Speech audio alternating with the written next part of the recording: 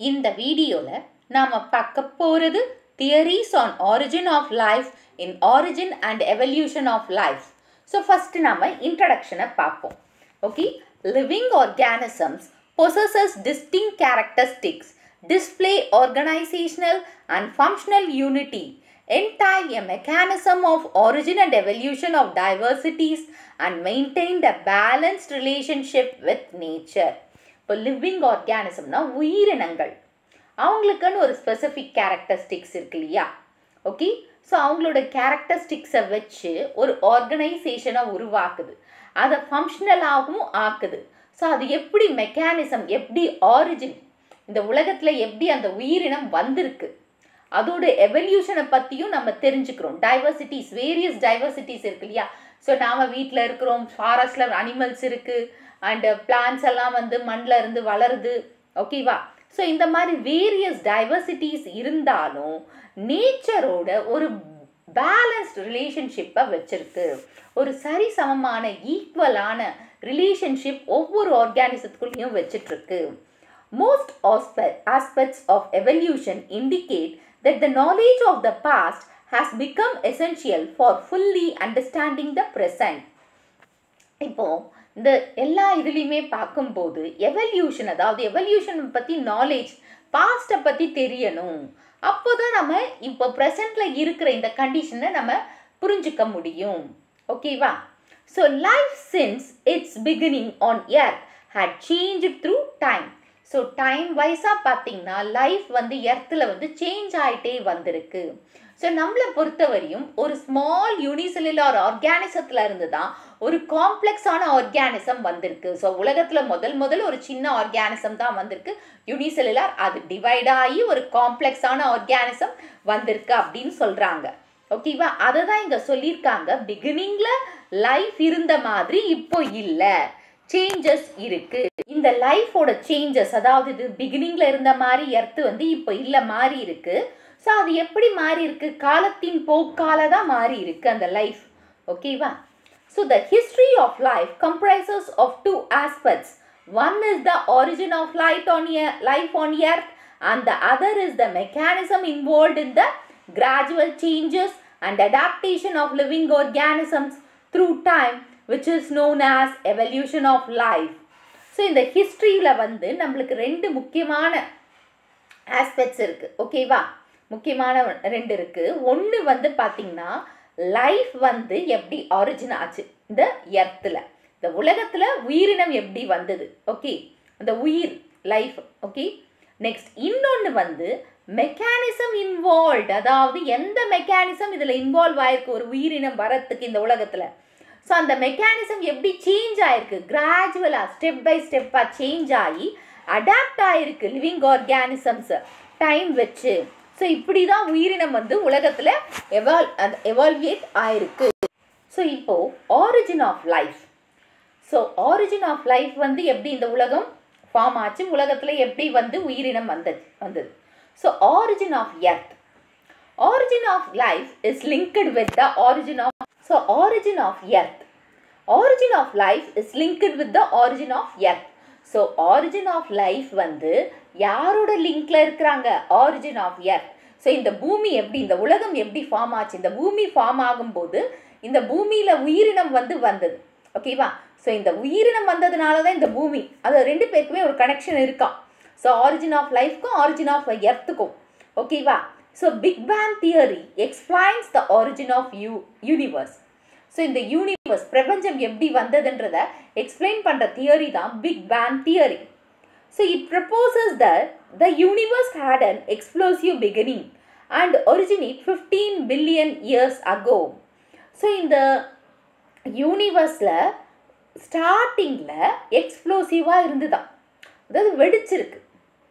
So இந்த இந்த வெடிச்சிருக்கிறது and it originated எவ்வளோ வருஷம் ஆச்சுன்னு பார்த்தீங்கன்னா ஃபிஃப்டீன் பில்லியன் இயர்ஸ் முன்னாடி இந்த மாதிரி நடந்திருக்கு. Okay the universe comprised of stars clouds gas and dust which form the galaxies so யூனிவர்ஸில் அப்படி வெடிக்கும் போது என்னென்னலாம் ஃபார்ம் ஆயிருக்குன்னு பாருங்கள் அதில் என்னென்னலாம் இருக்குன்னு பார்த்தீங்கன்னா stars clouds of gas and dust and galaxies form of galaxies இதெல்லாமே வந்து யூனிவர்ஸில் இருக்குது The solar system was probably created when the gaseous cloud started to collapse due to the force of its own gravity, forming atoms and particles. இப்போ இந்த solar system சொல்கிறோம் இல்லையா நம்ம sun அந்த நைன் பிளானட்ஸ் ஸோ அது எப்படி create ஆச்சுன்னு பார்த்தீங்கன்னா இந்த கேஷியஸ் கிளவுட்ஸ் இருக்கு இல்லையா அவங்க கொலாப்ஸ் ஆயிடுறாங்க கொலாப்ஸ்னா நிலச்சி நிலக்க நிற்க முடியல ஸோ அது அது அப்போ கொலாப்ஸ் ஆகும்போது ஒரு ஃபோர்ஸ் ஏற்பட்டு அந்த ஃபோர்ஸ் வந்து கிராவிட்டி மூலமாக ஆட்டம்ஸ் அண்ட் பார்ட்டிகல்ஸை ஃபார்ம் பண்ணியிருக்கு. The atoms dust grey dust grains and gaseous disk aggregated to form clumps and gave rise to the planets அதாவது ஆட்டம்ஸு டஸ்ட் கிரெயின்ஸு இந்த அந்த டஸ்ட் பார்ட்டிகல்ஸ் கேஷியஸ் டிஸ்க் இவங்கெல்லாம் ஒன்றா சேர்ந்து தான் என்னது ஒரு கிளம்ப் மாதிரி ஒரு ஒரு குப்பை அதாவது ஒரு ஒரு ஒரு குப்பை மாதிரி ஓகேவா கிளம்ஸாக ஃபார்ம் பண்ணி ஒரு பிளானட் ஃபார்ம் ஆயிருக்கு அப்படின்னு சொல்கிறாங்க பிளானட்ஸ் அப்படி தான் ஃபார்ம் ஆச்சுன்னு சொல்கிறாங்க this forms the solar system of the milky way galaxy இப்படி தான் சோலார் சிஸ்டம் வந்து மில்கி வே கேலக்ஸியில் ஃபார்ம் ஆயிருக்குன்னு சொல்கிறாங்க so earth was suppose to have been formed above four point five billion years back so earth எப்போ form ஆச்சுன்னு சொல்கிறாங்க பாருங்கள் ஃபோர் பாயிண்ட் ஃபைவ் பில்லியன் இயர்ஸ்க்கு முன்னாடி. Life appeared fif five hundred million years after the formation of earth அப்போ life எப்போ form ஆச்சா? இப்போ ஃபோர் பாயிண்ட் ஃபைவ் பில்லியன் இயர்ஸ்க்கு முன்னாடி எர்த்து ஃபார்ம் ஆச்சு. ஆனால் லைஃப் ஃபார்ம் ஆனது வந்து five hundred millions years after அதாவது ஃபைவ் ஹண்ட்ரட் மில்லியன் இயர்ஸ்க்கு ஆன பிறகு தான் இந்த பூமியில் உயிரினம் வந்திருக்கு. ஓகேவா so theories on origin of life இதுதான் நம்மளோட topic okay so many theories have been postulated to explain the origin of life so நிறைய தியரிஸ் கொடுத்துருக்காங்க ஆரிஜின் ஆஃப் லைஃப் எக்ஸ்பிளைன் பண்ணுறதுக்கு this views on the origin of life has been put forward as put forth as இப்போ நிறைய views இருக்குது first special creation special கிரியேஷனாகவே நம்ம மைண்டுக்கு வரவர் வந்து கடவுள் தான் இந்த உலகத்தை படைச்சாரு உயிரினத்தையும் உருவாக்குனாரு.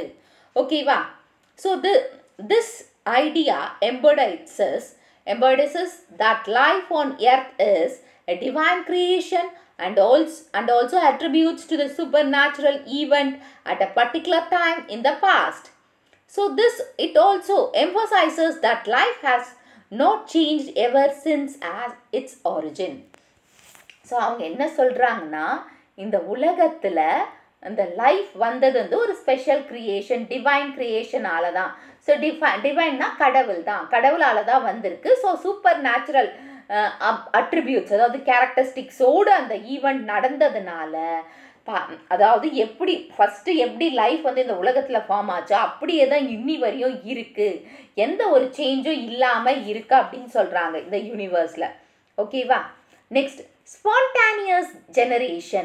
abiogenesis according to this theory life originate spontaneously from life plus matter so அப்போ இந்த தியரி ஸ்பான்டேனியஸ்னா வித்தின் அ சடன் டக்குன்னு ஓகே சடன் நடக்கிறது தான். ஸோ ஏற்கனவே இப்போ லைஃப்லெஸ்ஸாக இருக்குல்ல உயிரினங்கள். இப்போ நான் இன்ஆர்கானிக் சப்ஸ்டன்சஸ் அதெல்லாம் வந்து லைஃப் இல்லாதது. ஓகேவா உயிர் non living things non living thing மேட்டரில் இருந்து தான் லிவிங் திங் வந்திருக்கு அப்படின்ற மாதிரி சொல்கிறாங்க so it was believe that fishes originate from mud frogs from moist soil and insects from decaying matter so அதனால் இதை பிலீவ் பண்ணியிருக்காங்க. அதாவது இது ஃபிஷ்ஷஸ் வந்து எங்கேருந்து வந்தாங்க? மட் ஓகே மட்டுன்னா மண் அண்ட் ஃப்ராக்ஸ் வந்து மாயிஸ்ட் சாயில் கொஞ்சம் ஈரம் உள்ள சாயிலேருந்து ஃப்ராக் வந்து இருக்காங்க. இன்செக்ட்ஸ் வந்து டீகேயிங் மேட்டர் அழுகுன மெட்டீரியல்லேருந்து அழுகுன பொருட்கள் இருக்கு இல்லையா? அதுலேருந்து இன்செக்ட்ஸ் பூச்சிகள் வந்திருக்குன்றது ஒரு பிலீஃபாக வச்சுட்ருக்காங்க இப்படி தான் வந்திருக்கோம் அப்படின்னு. ஓகேவா ஸோ நெக்ஸ்ட் இது வந்து பார்த்திங்கன்னா இந்த யூரே மில்லர் தியரி ஸோ இந்த கெமிக்கல் எவல்யூஷன் சொல்கிறோம் இல்லையா? அதுக்கு எக்ஸாம்பிளாக இதை கொடுத்துருக்காங்க. ஸோ இதை வந்து பார்த்திங்கன்னா கேஸஸ்ஸு அதை ஹீட் பண்ணிகிட்டே இருக்கும்போது அந்த கேஸஸ் போயிட்டு இங்கே வந்து ஒரு லிக்விட் ஃப்ளூயிட் ஃபார்ம் ஆகுது. அந்த ஃப்ளூயிடை கலெக்ட் பண்ணோம்னா அதில் உயிரினம் வருது அப்படின்ற ஒரு இதை கொடுத்துருக்காங்க. இது உங்கள் புக்கில் இல்லை ஜஸ்ட் உங்களுக்கு தெரியணுன்றதுக்காக நான் கொடுத்தது. Biogenesis it was speculated by Louis Pasteur in eighteen sixty two that life originates from the pre existing life பயோஜெனிசஸ்ன்னா Louis Pasteur தான் இதை கொடுத்துருக்காரு. எந்த வருஷத்தில்? எயிட்டீன் சிக்ஸ்டி டூவில் அவர் என்ன சொல்கிறாருன்னா ப்ரீ எக்ஸிஸ்டிங் லைஃப்ல இருந்து தான் நியூவாக ஒரு லைஃப் உருவாகுது. ஏற்கனவே இருந்த உயிரினத்தில் இருந்து தான் புதுசாக இன்னொரு உயிரினம் வருது லைஃப் வருது அப்படின்னு சொல்கிறாங்க he showed that the pre sterilised flask kept closed airtight with the yeast yeast not not rise rise any any life form இப்போ வந்து ஒரு ப்ரீ ஸ்டெரிலைஸ்ட் அதாவது ஸ்டெரிலைஸ்டு பண்ண ஒரு ஃப்ளாஸ்கில் க்ளோஸ் பண்ணி வச்சுருக்காங்க. அதாவது ஏர் டைட்டாக வச்சுட்டாங்க.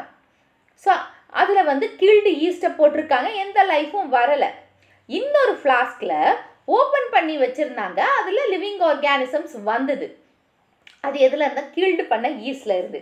ஸோ இப்போ அந்த நம்ம இந்த டயக்ராமை பார்க்கலாம். ஸோ இப்போ வந்து இது வந்து க்ளோஸ் பண்ணியிருக்காங்க. அதாவது க்ளோஸ் பண்ணி ஓப்பனாக வச்சுருக்காங்க. இதில் உயிரினம் வந்திருக்கு. ஸோ நம்ம பார்க்கலாம். நிறைய பூச்சிகள் இருக்கிறது. நெக்ஸ்ட் ஒன் வந்து இது டைட்டாக க்ளோஸ் பண்ணிட்டாங்க. டைட்டாக க்ளோஸ் பண்ணதுனால ஏர் எதுவுமே போகலை. ஸோ அதனால் எந்த பூச்சியும் எந்த உயிரினமும் உள்ளே ஃபார்ம் ஆகலை. ஓகேவா ஸோ இந்த மேலே அதாவது இந்த ஏர்டைட் அந்த பிளாஸ்டிக் இதுக்கு பதிலாக வேற ஏதாச்சும் இந்த ஷீப் பிளாடர் அந்த மாதிரி ஒரு இதை கவர் பண்ணி வச்சா உயிரினம் வந்து உயிரினம் வந்து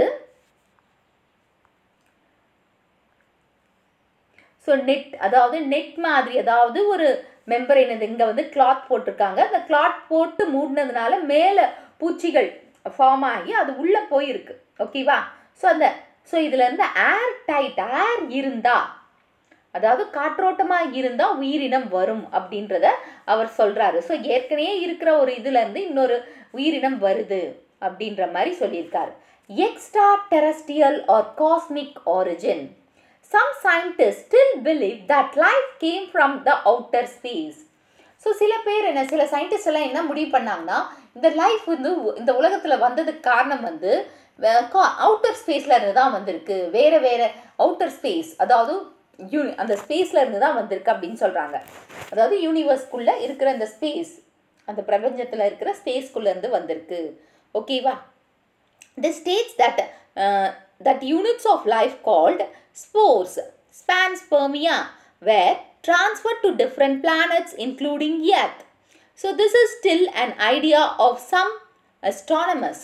இப்போ அந்த ஸ்பேஸில் இருந்து தான் உயிரினம் ஃபார்ம் ஆகிருக்கு அந்த அதில் வந்து சின்ன சின்ன யூனிட்டாக இருக்குது அந்த யூனிட்டுக்கு பேர் வந்து ஸ்போர்ட்ஸ்ன்னு வச்சாங்க. பேன் ஸ்பெர்மியா இந்த பேன் ஸ்பெர்மியா தான் ஒவ்வொரு டிஃப்ரெண்ட் பிளானட்டுக்கு போயிருக்கு. எர்த்துக்கும் அப்படி தான் வந்திருக்கு. அப்படி தான் உயிரினம் வந்திருக்குன்னு சொல்லி அஸ்ட்ரானமஸ் பிலீவ் பண்ணிட்டு இருக்காங்க. ஓகேவா இதுதான். Through cosmic rays our ancestry our cosmic ancestry அப்படின்னு கூட சொல்கிறாங்க ஸோ ஆரிஜின் ஆஃப் எவல்யூஷன் இப்படி நடந்திருக்கலாம் அப்படின்றது சில பேரோட கணிப்பு. Chemical evolution of life so this idea was developed by Oparin in nineteen twenty two and Haldane in nineteen twenty nine so they propose that with the condition prevailing on earth life arose by a series of sequential chemical reactions. So Haldane and Oparin வந்து அவங்க ரெண்டு பேரும் என்ன சொல்கிறாங்கன்னா எர்த்தில் வந்து ஒரு chemical reaction நடந்திருக்கு. அதுலேருந்து தான் அதாவது கெமிக்கல் ரியாக்ஷனா சீக்வன்ஸாக தொடர்ந்து நடந்திருக்கு. அப்படி தான் இந்த life உருவாகியிருக்கு. The first form of life could have come from the pre existing non living inorganic molecules which gave rise to the formation of diverse organic molecules which are transformed into the colloidal system to produce life.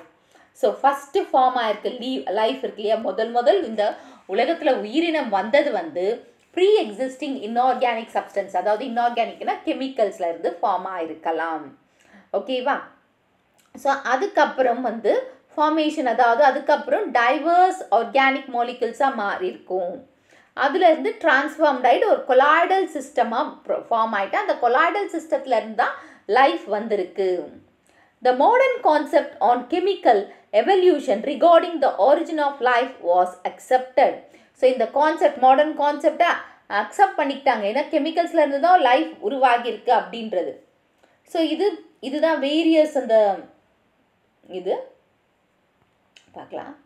So இப்போ வந்து that is சைட்டோப்ளா இது வந்து ஒரு இதுன்னு வச்சுக்கோங்க. ஏதாவது ஒரு cell so இந்த செல்லுக்குள்ளே நிறைய இது இருக்குது அதாவது செல்லுன்னு சொல்கிறத விட நம்ம என்ன சொல்லலாம்னா ஒரு க்ளவுட் அந்த மாதிரி. ஃபார் எக்ஸாம்பிள் சி மாதிரின்னு கூட வச்சுக்கோங்க. அதில் நிறைய வந்து ஆனால் இது செல்லு தான் நியூக்ளியர் அந்த செல்லு சைட்டோபிளாசம் அப்படின்னு கொடுத்துருக்காங்க. பட் இந்த மாதிரி தான் ஒரு கடல். ஏன்னா ஒரு காலத்தில் பூமியில் வந்து கடல் தான் இருந்தது.